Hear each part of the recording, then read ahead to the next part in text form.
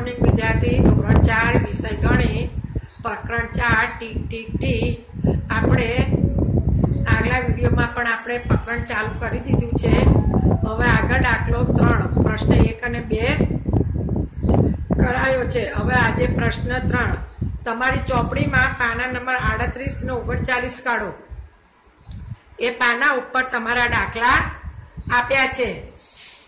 નીચેના ચિત્રો પરથી કહો કે મિનિટ કાંટાને ખસતા કેટલો સમય લાગે છે? હવે તમે ઘડિયાળ મેં દોરી છે. મેં તમને ઘડિયાળ દોરતા શીખવાડી છે. કાલે પણ ઘડિયાળ દોરી છે.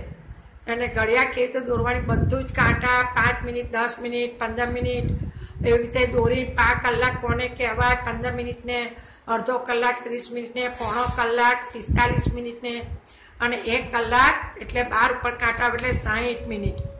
એ બધું મેં તમને ઘડિયાળ દોરીને સમજાવ્યું છે. નાનો કાંટો, કલાક કાંટો, મોટો કાંટો, મિનિટ કાંટો. તો આપણને આમાં છે મિનિટ કાંટાને ખસતા કેટલો સમય લાગે છે. જુઓ, ઘડિયાળ જુઓ. નાનો મોટો કાંટો ત્રણ ઉપરથી ખસીને ચાર ઉપર આવ્યો છે. એટલે એટલે કેટલી? ત્રણ પંચા પંદર મિનિટ થઈ. પછી જે ચાર ઉપર કાંટો છે, એટલે પાંચ ચોક વીસ મિનિટ. પછી ગળ્યા છે બે ઉપર કાંટો, એટલે પાંચ દૂર દસ મિનિટ. પછી છે ત્રણ ઉપર, અરે, પછી ડ, પછી કાંટો છે, જુઓ, પાંચ સિત્તા પાંત્રીસ મિનિટ. હવે પ્રશ્ન હવે પ્રશ્ન ત્રણમાં આ પહેલો છે.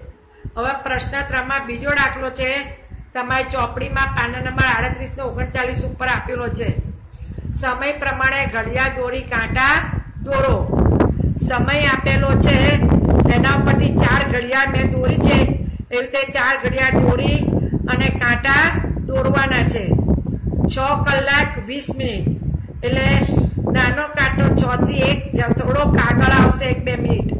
અને વીસ મિનિટ એટલે મોટો કાંટો ચાર ઉપર.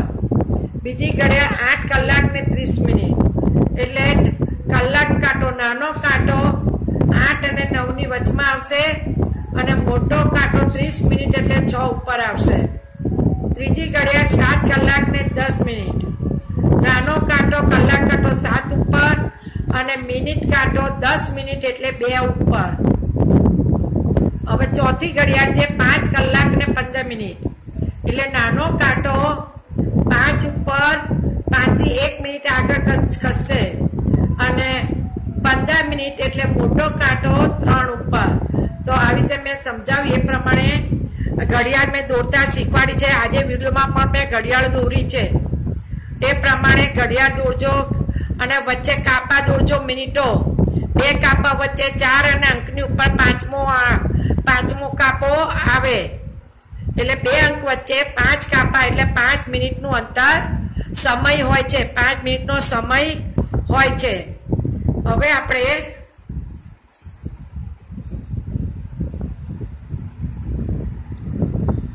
ત્રણ હવે દાખલો ત્રણ. તમારી શાળાની પ્રાર્થના સભા કેટલો સમય ચાલે છે? મારી શાળાની પ્રાર્થના સભા પંદર મિનિટ ચાલે છે. આપણે પ્રાર્થના કરીએ છીએ ને? ક્લાસમાં આવો. એટલે પહેલાં આપણે પ્રાર્થના સરસ્વતી દેવીની આપણે પ્રાર્થના કરીએ છીએ તે પ્રાર્થના આપણે કેટલી મિનિટ ચાલે છે? પંદર મિનિટ ચાલે છે. આગળ ચોથો. તમારો ભોજન વિરામ કેટલા સમયનો હોય છે? ભોજન વિરામ એટલે જમવાનો સમય. તો મારો ભોજન વિરામ વિરામ એટલે આરામ, જમવાનો સમય, આરામ. ભોજનનો આરામ ત્રીસ મિનિટ લાંબો હોય છે. પાંચમું, તમારે રમવાનો તાસ તાસ એટલે સમય પીડિયર કેટલો લાંબો હોય છે? તાસ એટલે પીડિયર સમય. મારો રમવાનો તાસ પિસ્તાલીસ મિનિટ જેટલો લાંબો હોય છે. છઠ્ઠું, તેનો સમય બીજા તાસ જેટલો હોય છે.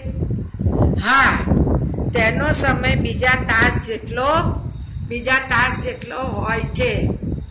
તો જો વિદ્યાર્થી, આટલા મેં આ સવાર પ્રશ્ન ત્રણ આખો કરાયો છે. પ્રશ્ન ત્રણમાં કેટલા દાખલા છે? પહેલો દાખલો આઠ ઘડિયાળ દોરવાની છે. બીજો ઘડિયાળ છે, એમાં ચાર ઘડિયાળ દોરી અને સમય બતાવવાનો છે. અને ત્રણ, ચાર, પાંચ અને છ એ તમને સમય પૂછ્યું છે. એ પ્રમાણે સવાલનો જવાબ સવાલના જવાબ સવાલના જવાબ લખવાના છે. તો ગણિતની નોટમાં આ બધી ઘડિયાળ આઠ, અમાં બે ઘડિયાળ, બમાં બે ઘડિયાળ, કમાં બે ઘડિયાળ અને ડમાં બે ઘડિયાળ. અને પ્રશ્ન બેમાં ચાર ઘડિયાળ. એટલે કુલ કેટલી ઘડિયાળ દોરવાની છે? તમારે બાર ઘડિયાળ દોરવાની છે. અને ઘડિયાળ દોરજો અને ગણિતની નોટમાં અને ઘરકામમાં. ઘરકામ અને વર્કકામ બે કામ છે. એટલે બે કામ તમારે કરવાનું છે. ઘડિયાળ બરાબર દોરજો. અ પતી જાય એટલે બે લીટી છોડી પછી બ દોરજો. બમાં બે લીટી છોડી પછી ત્રીજો અંકાની ઘડિયાળ દોરજો. એવી રીતે ઘડિયાળ દોરજો ભેગી ભેગી દોરશો. નહીં. થેન્ક યુ વિદ્યાર્થીઓ.